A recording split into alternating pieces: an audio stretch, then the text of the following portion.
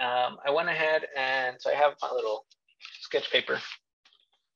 These sketches that we're going to be doing weekly can be done in or should be done in your little sketchbook in the six by four sketchbook. Um, I'm using that big, the big kind of uh, the nine by 12, um, the nine by 12 sketchbook that, that I showed you guys, just so I have a bigger page to, to work with. But you guys can go ahead and use that sketchbook. That's what that sketchbook is um, is designed for. That's the intention of having that that sketchbook. Okay. So what I'm covering or what I want to go over is the very, very basic fundamentals of um, drawing with two-point perspective, okay? Um, two-point perspective, we need, we have essentially, essentially like three parts to it. We have what we call a horizon line. Call this horizon line. Um, and then we have what we call vanishing points.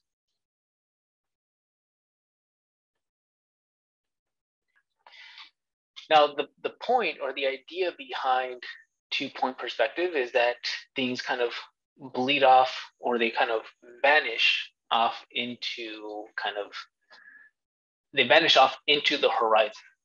Okay. So if we were to look at, you know, um, the best way to understand the horizon line is if you've been on the beach and you're looking out, we all see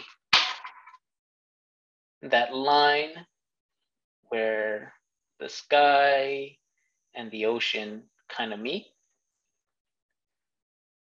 That's your horizon line. Okay.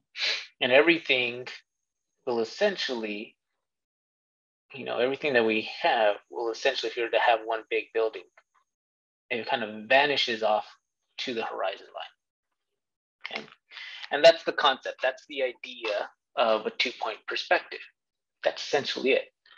So, for example, if we had an object that was at eye height, at you know, at our at our eye height, it would be an object that would run right across the horizon line.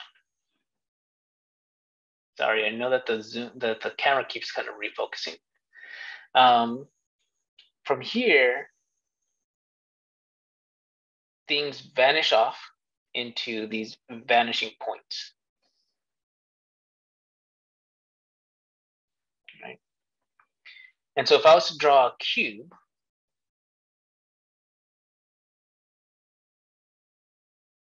we can go ahead and go from one edge and have that draw out to the vanishing points, out to the vanishing points. And then we would have the width of that cube come and stop at that point. So in the end, what we have, go ahead and make this hopefully easier to see.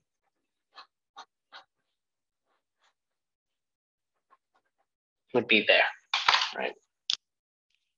I typically don't like to erase the vanishing lines, but just for the sake of this,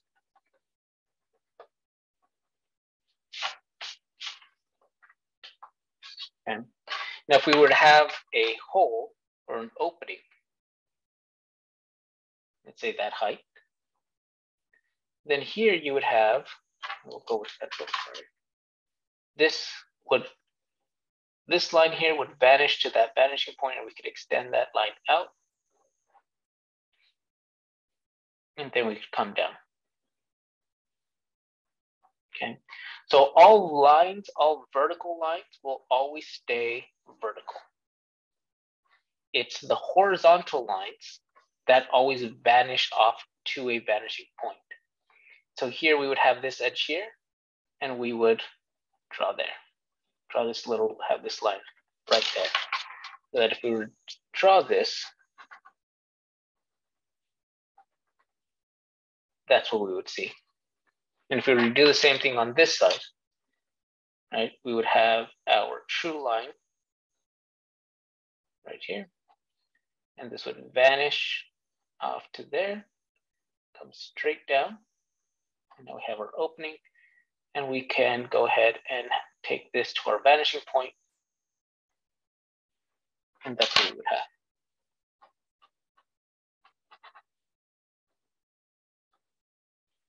Okay, go ahead and, sorry, I meant to do this earlier. Sorry, I'm opening up my, uh, that big block eraser. Um, let's use this one here. So we can really see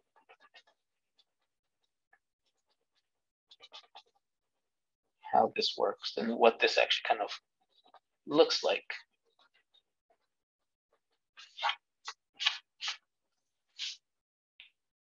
Right. So you have an object where again, the key component is that what we call our true lines or our vertical lines are up and down and these do not change, okay? But we have our vanishing lines that um, vanish to these vanishing points. Okay.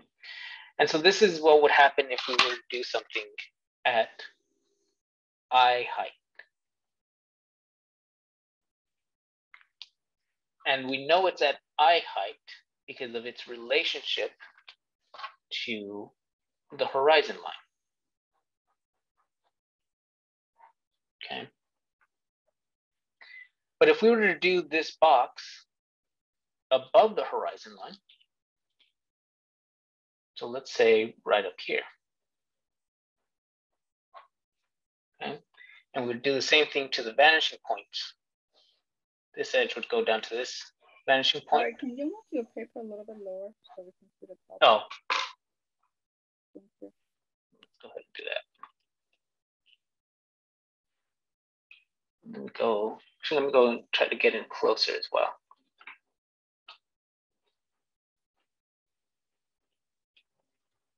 Is that better? That's fine. Yeah. So then this would go down to this vanishing point. Okay, and these lines, the vertical lines stay the same.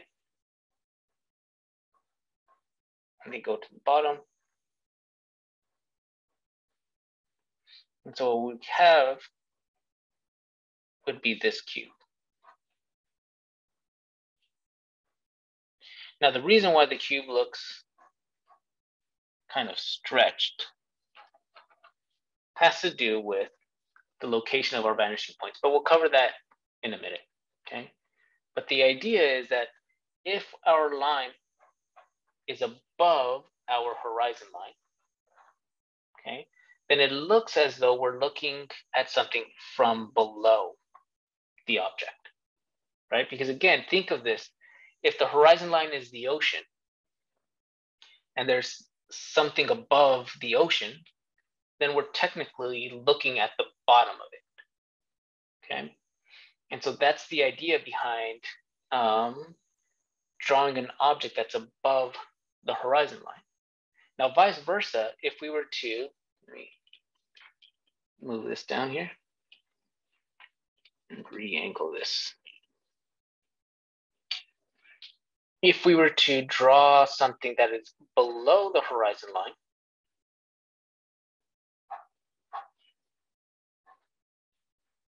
again, every, all of our horizontal lines would go to our vanishing point. Okay. Vertical lines stay the same at the same location. Then these edges go out to our vanishing point there and our vanishing point there.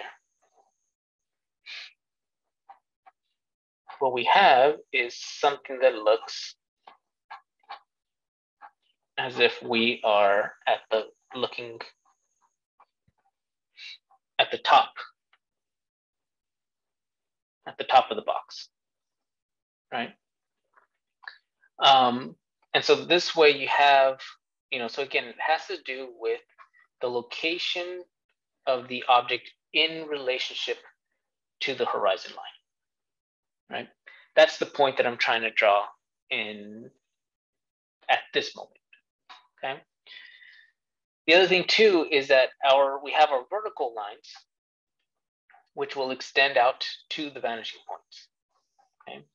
But the way that that this object, or the reason why this object looks kind of stretched the way that it does, is because of the placement of these vanishing points, okay? And we get to choose the placement of these vanishing points. So then the question becomes, well, what's the difference between putting the vanishing points here or putting them farther out? So let me go ahead and now using that, using that paper.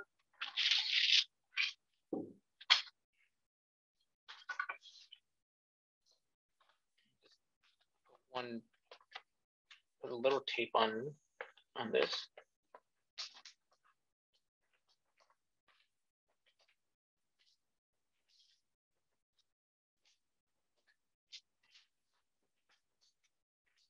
This time I'm going to use a color and so we can see the difference between the two.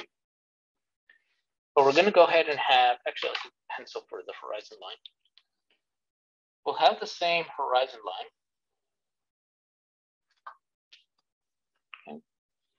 But this time I'm going to put the vanishing point right there. And I'm to put the vanishing point right there. And I'm going to draw the same box here. Okay, so I'm going to draw right there. Sorry, I know it keeps getting. And we'll do the same thing. We'll kind of go, this time we kind of go lightly to the vanishing point.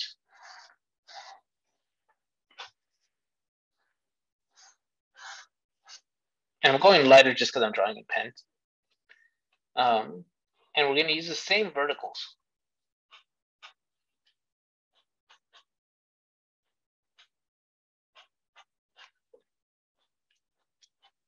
Okay. And we could go ahead and use the same heights from the doors. So let's say we do this. Same vanishing points. And go farther out.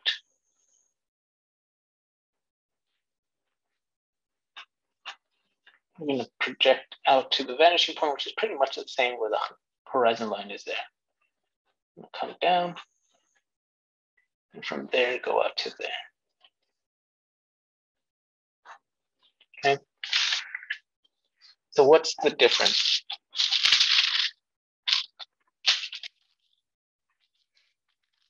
Go ahead and just quickly trace what we have here, and then we'll be able to see side by side what the difference is.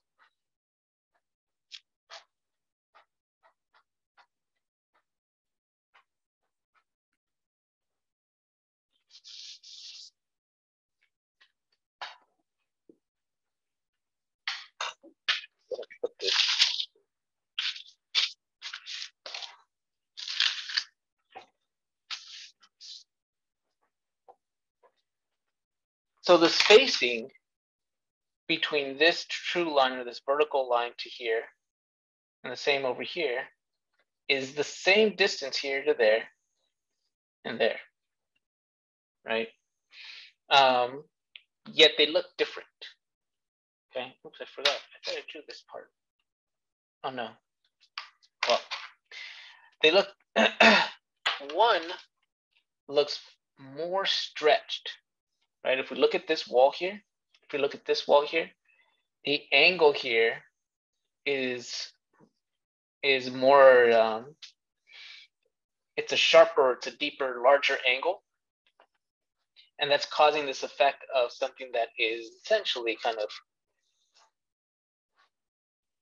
you know, looking really, that's bad, looking really stretched, as opposed to this one here, where the v, where the vanishing points were drawn farther away. Okay, and so it makes this wall not look as stretched out. Okay, those are the two main qualities of this two point perspective have to do with your placement of the vanishing points. If you want something to look kind of exaggerated and, and stretched, we're going to want to put vanishing points close together. But the farther out the vanishing points are from one another, then the less stretched the object is going to look. On top of that, wherever you place your object in relationship to the horizon line, whether it's on the horizon line or above the horizon line or below the horizon line, is going to determine how this object is, is going to be shown. So if I'm to draw, uh, if I was to draw an object and I wanted to kind of accentuate the bottom portion of this object as if we're kind of looking at it from below, then that means I'm going to draw it above my horizon line, right? We want to see the bottom portion, so we want to be looking up at it. So it's as if we're standing on the horizon line, and therefore we want to look up at it. If we want to see the top, then it's as if we are standing on the horizon line, looking down, and therefore it's below us. And that's going to show us more the top. Okay. That's the fundamental task of two-point perspective. Okay? Now, the reason why this becomes useful is because there's going to come a time at some point where you're going to be on site, you're going to be talking to your teacher or someone, and they're going to say, you're going to try to explain something, and they can say, well, I don't know what you mean. Can you draw it out? Right. And at that point, that's when you're going to want to, you know, draw something out. And you could say, okay, I'm going to, I want to do a box right? And I want to do this, and I want to show that I have a window here. And I want to show, or I want to show that I have these doors right there, and maybe I do place a window here. But you understand that this line and this line and this line all need to match this line, which are at an angle, because they are all going to a vanishing point, right? And the goal is to be able to draw this without having to draw your horizon line and your vanishing points every single time. And so this is where the practice comes into play. This is where you, once you do this over and over and over and over and over again, you begin to kind of set imaginary vanishing points and imaginary horizon lines so that you don't actually have to draw them. Okay. And so, um, but all that only comes with practice. Okay. So that's why each week we're going to be um, doing these two point perspectives. Okay. Um, so let me go ahead and get another sheet. Uh, get another sheet of paper. And I want to cover one last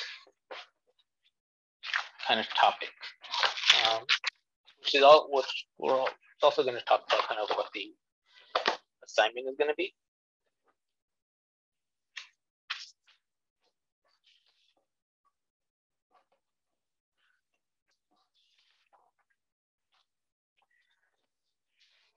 So the project or the, yeah, the assignment is going to be to draw two objects.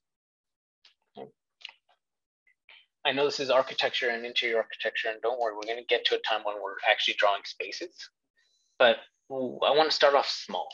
Okay, I want to start off small um, so that we actually have something to, you know, just so we can draw something out um, that's re reasonable in scale. Okay. So what you're going to do in your sketches is do the same thing. You're going to start off with a horizon line. And I want you to draw the horizon line. Okay. And then the next step is going to be to determine your vanishing points. Okay, do I want this thing to look stretched or do I want it to look, um, you know, less, less stretched, right? Something a bit flatter out. And I'm gonna say, I wanna do something a bit flatter out. So I'm gonna put a vanishing point over here and a vanishing point over here. Okay. Now, the other thing too, that um, yeah, that I, that we didn't cover but is that right now I'm kind of placing the vanishing points kind of symmetrical to wherever the midpoint would be, It'd be somewhere right there, right? But technically, we don't have to do that. These vanishing points don't have to be um, kind of symmetrical away from the midpoint. Like I could put one vanishing point here. Let me quickly just show what that looks like. Again, we'll talk about this. Um, we, there is going to be a portion in the class where we go get deeper into two-point perspectives, but it's going to be more in kind of in terms of um, interior or exterior um, project development. So like, how do you, how do we add to a render? How do we add to a 3D model, right? So anyways, let's say we have our vanishing point there and we have another one over here. And I have my box right here, right? So like the distance from here to there is not the same from there to there. That's perfectly fine. We could do that. This would go to vanishing point there, there, there, and there. And we can go ahead and do our vertical here and our vertical there. Right. And it's kind of the same thing. You know, if we draw an opening there. This part would go to that vanishing point. And same thing over here. This goes to this vanishing point. This is gonna come straight down. And there we go. So what happens when you do vanishing points that are not parallel or not kind of in the same distance is one side gets kind of smaller and the we end up seeing more of another side. Right, we end up seeing more of, there's more of a focus on this wall than there is on this one, right? Um, and so this again comes with more practice, playing with the vanishing points. So what I want to do now is I'm going to draw a um, kind of a bookcase type object that I have here. And which essentially is going to be kind of the assignment, right? Which is to draw objects around you, look around you and take the object and try to draw it freehand using this method using this two this two point perspective um, method. Okay. Now the part that is still left to cover is kind of proportion. Okay. And kind of what we're going to do first is box something out. Okay. And that's kind of the first step to to something to drawing a, an object. Now I do recommend that for the first few weeks or the first couple sketches, pick easy object. Pick rectilinear, straight, boxy like objects. Okay. Don't get um, ahead of yourself and start doing um, trying to do two point perspectives of kind of curvy things um, until you feel comfortable with it. Okay.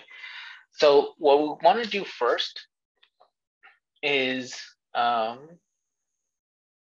I'm going to do. So I'm looking at a at my bookcase um, that's kind of in front of me, and it's your generic metal bookcase, right? Um, and what I want to do first is box it out. And actually, you know what, this bookcase isn't. I thought it was going to be good, but the bookcase is already a book, uh, is already a box. So I want to do something that's um, not a box. So I have a a, um, a a wall hung um, bookcase, and it's not a box. And but I, what I want to do first is box it out. Okay, so I'm going to, I want to take a look at this a little bit more on from like a top view, right? I want to focus a little bit more on the top side. I don't want to be completely down, so I don't want to draw it all the way down here. but I do want it to be some something down, you know, get somewhat of a downward look on it. And so what I want to do is look at the object um, and kind of box out the proportion of the object, right? Where does this thing actually kind of, how does this thing actually kind of fit inside of a box? If I was to put it inside a cardboard box, what would that cardboard box look like? Okay, so I'm going to start off with this um, line here. This is known as a true line. Um, don't worry about the names of, of that just yet. We'll cover that down the line and why it's called a true line. But I'm going to say this is the height. Okay, so this is the, the height of my cardboard box. And now I'm going to go ahead and take it up to the vanishing points. Okay. And as I'm looking at this, um, I do get to focus a little bit on on the um, on the top portion. Okay. And if I wanted to do something more, then you know you could begin to bring it down farther down and, and so on. Actually, why don't we do that? Let's go ahead and bring this down. Sorry. Go ahead and bring this down a little bit more.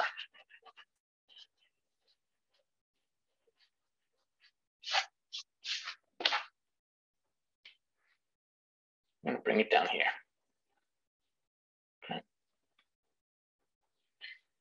And so we're going to go to the vanishing points. Now, when you're doing these, especially for the homework sketches, I'm not looking for picture perfect, photorealistic sketches. This is meant to be used as an exercise for you to study and understand these concepts. So, you know, right now, you can draw the line and you can say, oh, wait, that's, you know, the same way I just did it. It was like, oh, you know what? I want to be able to see more of the top. So let me go ahead and bring that down. Okay. By doing this more and more often, you'll get uh, more and more comfortable with the how the placement of how things should be in relationship to the horizon line and the and the vanishing point. All right, so my bookshelf is about that much width. Okay, and now from here, I'm going to go ahead and go out to this vanishing point, and it's about this long. And from here, I'm going to go out to this vanishing point. And so you can begin to see you can begin to see um, that the object is going to be inside this box. Okay? And that's typically how we want to start off with an object when we're trying to, to do a two-point perspective of, of an object. Okay?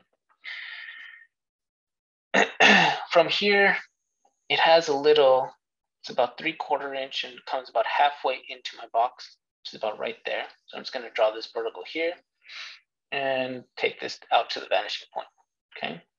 Now notice, again, I'm not using any, um, I'm not using any straight edge, any ruler, and you shouldn't either. That's not the point. Okay? And then this is also about three quarter inch thick on this side. And then this goes back. So I'm gonna take it out to the vanishing point and kind of bring it down, okay? Out here. Now, it's really important how to hold the pencil and how to kind of take these strokes out to the vanishing point. The closer you hold the pencil to the tip, the harder the line's going to be, right? The farther away you move your hand, the lighter the line's going to be. So when I'm drawing this, you'll notice that my hand is farther out, okay? And we are trying to you're just letting the pencil glide over the pen, the uh, the paper because we're not trying to get these really hard solid lines yet okay the other thing too is that when i'm going to the vanishing points and i'm drawing a line this becomes a really tricky thing because oftentimes if i have to draw a line from here to here right with the hand farther back so i have even less control it's very hard to try to do it in one stroke because if and most people especially those who when you're just starting off and you don't have that eye hand coordination that takes time you know i'm no pro at it because I'm not a hand illustrator. Um, but oftentimes you're going to see people trying to like connect these two and they're going to end up like that, completely off, right? And it just takes time and practice. The one kind of advice that I could give you is once you start the line, don't look at the line you're creating. Keep your eye on here. And your hand should follow that. Will end up following that point, hopefully. but that also comes with with um, with time, right? So don't put your eye on the line as you're drawing. Keep your eye at the destination point over here. So when I'm coming over here and I have to draw a line from this point out over here, I'm going very lightly. And you're seeing me kind of very lightly kind of go from this point and I'm even coming back.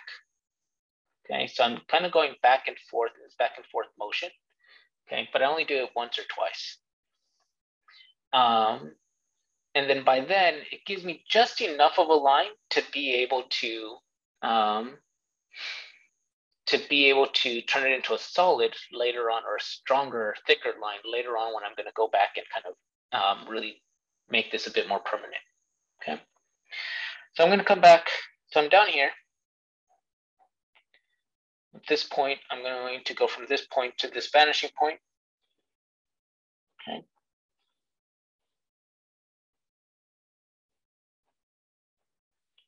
And then from this point, I'm going to go back. And then I'm going to get the bottom portion here, and this goes back over here. while I'm at it, I'm going to come back over here, and this is going to go. Sorry, it's also my body's in a weird angle.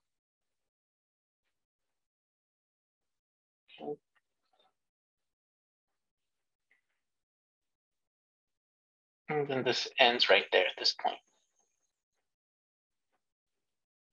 I have that, and this, there's a vertical that comes right over, oops, right around there. Okay. And that's the bookcase. So now what I would do is what we call kind of darkening the profile is go back with my pencil and notice now my hand placement is closer to is closer to the edge here. And now I could actually just kind of trace this out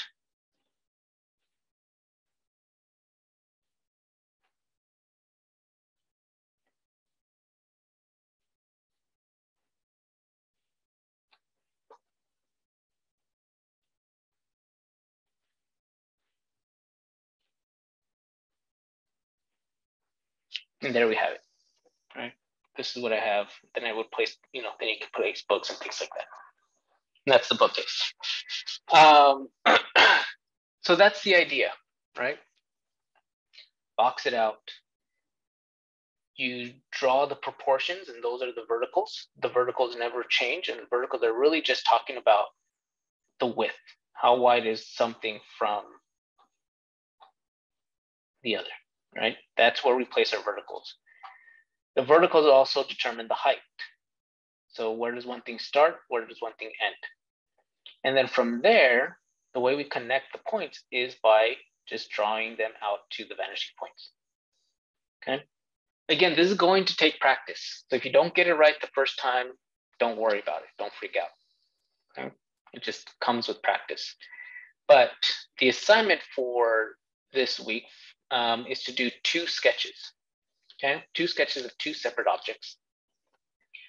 These sketches should not take more than 10 minutes each, so 20 minutes total, okay? Um, I don't want you guys spending way too much time on, on these things. It's not meant to take, it's not meant to take a whole lot of time. Um, because again, the idea, the way that we use sketching, the way we do hand uh, two point perspective is not the way we would do it if we were an illustrator or you know an artist or something like that. For us, it's just sketching an idea, right? So we need to be able to be quick. Um, we need to be able to, to be quick and get the general idea across. Okay, so I don't want you guys spending too much time um, on this. Uh, 10 minutes per sketch max. Okay. I'm also not looking for amazing artwork pieces. This is a studying skill, right? It's I want you guys to do it. I want you guys to study it. I want you guys to say like, okay, that's cool. That's how that worked. Or, you know, let me see what does this do if I do it this way, right? I want you guys to it's a trial and error and that's how we learn. Okay? So don't worry about, oh no, Javier's not going to like it. It's you know, it's I want you guys really learning this stuff. Um, and so I in order to do that, you need to stop.